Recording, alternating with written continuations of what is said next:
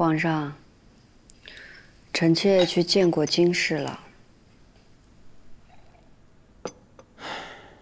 如意啊，你怀的这一胎是祥瑞之胎。江玉斌说你这一胎可能会早产，那些不干净的地方别再去了。是。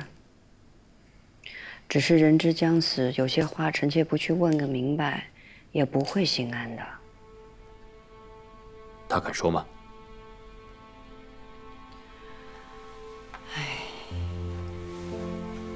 他承认害死了孝贤皇后和七阿哥，害死了梅嫔和宜嫔的龙胎，也害了永皇、惠贤皇贵妃，也是他害的海兰难产。只是他并没有承认害了淑妃母子、六公主，还有景嗣。这个毒妇，他倒肯认。只是他不认得，他以为朕就会相信吗？孝贤皇后过身的时候，他身边的苏烈死的也蹊跷，手里面还拿着一枚纯贵妃的珠花。纯贵妃的珠花。什么珠花？那是当年朕赏赐给纯贵妃的绣球珠花。既然金氏认了是他害死了孝贤皇后，那么他所做的这些事情，是否和纯贵妃有关呢？皇上，臣妾不信纯贵妃会和金氏一起谋害孝贤皇后。金氏承认害死了孝贤皇后，若素练也牵扯其中，那那枚珠花。兴许是金氏栽赃给纯贵妃的。罢了，朕不想再提这些无糟的事情了。无论如何，你也问过金氏了，也该心安了。过去的那些事情，别再想了。是。如意啊，眼看你的身子越来越沉，是不是该请你额娘入宫陪伴啊？额娘近来身子不大好，我也不敢劳烦她老人家。左右都是生第三回了，不怕了。那就好，那朕就放心了。朕还有折子要批，就先回养心殿了。你早些安置吧。别起了。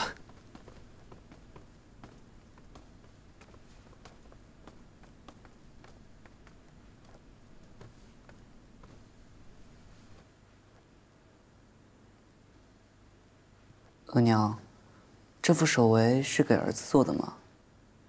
这是你皇额娘的东西。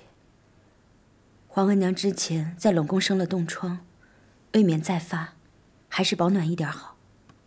额娘对皇额娘真好，有时候比对儿子还好。你这孩子，又在胡思乱想些什么？近日你可有见到你四哥？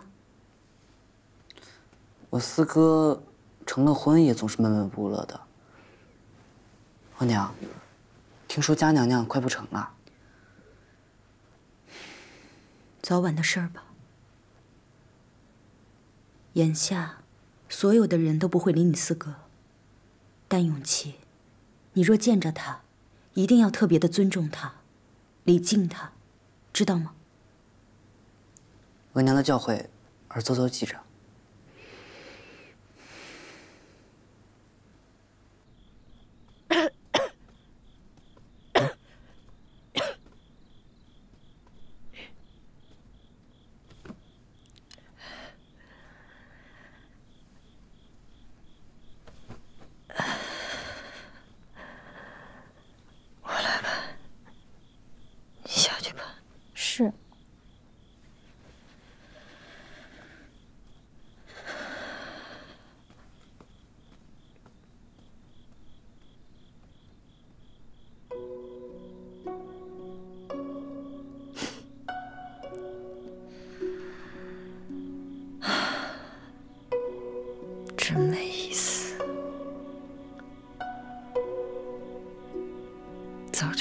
这样的结果，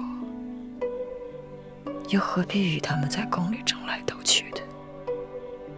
费尽心思，费尽谋算，到头来不过是一场空罢了。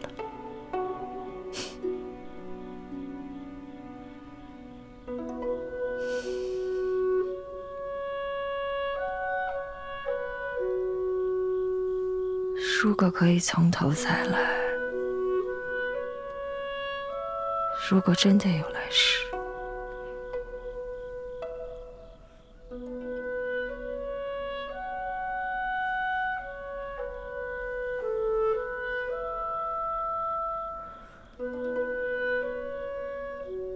你一定不要再过这样的人生。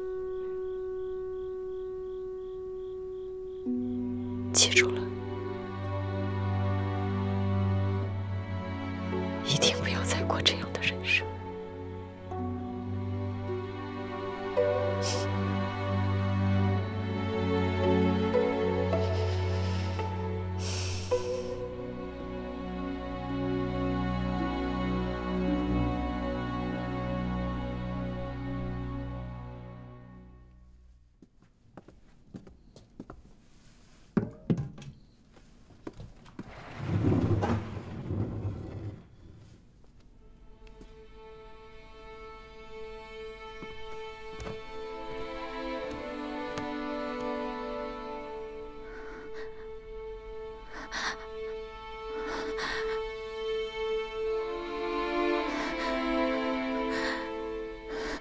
说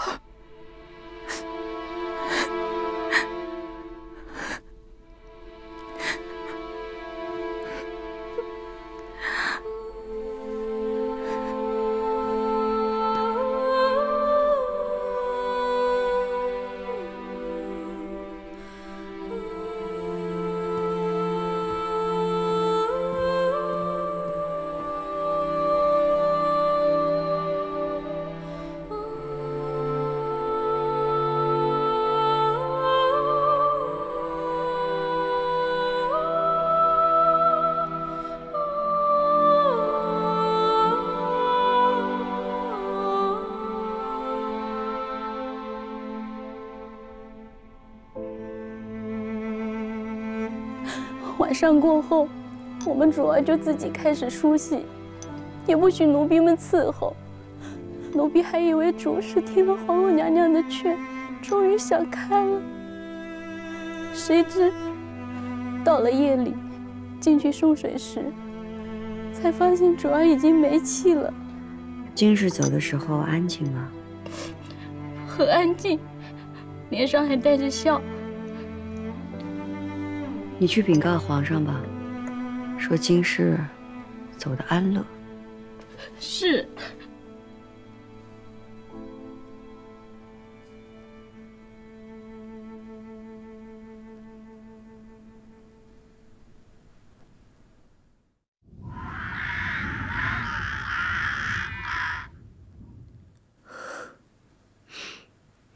一早便见天阴沉沉的，怕是老天和臣妾一样。感慨金氏的离世。听说金氏的子棺已经停在了静安庄。金氏的身后事，务必要办得好看些。毕竟她生了三个皇子，朕打算追封她为皇贵妃。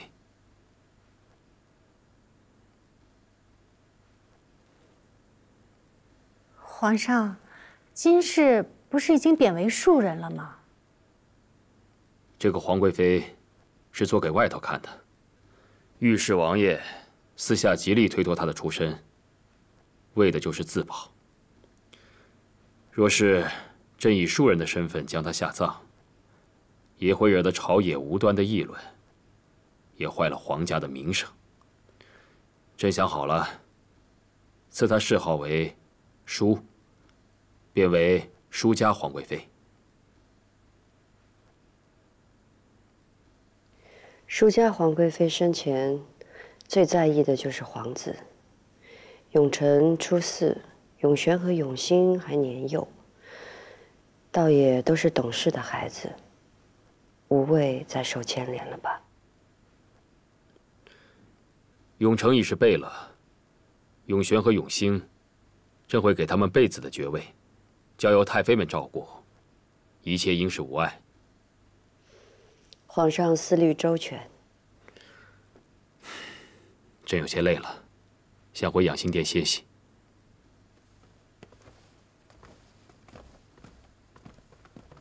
恭送皇上。